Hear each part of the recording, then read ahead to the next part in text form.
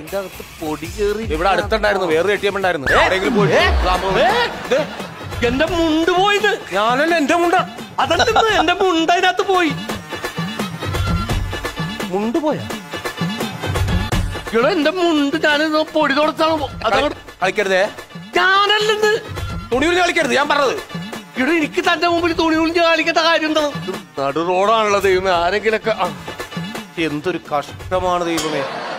താൻ എന്തിനാണ് എന്റെ ഓട്ടോയിൽ കയറിയത്?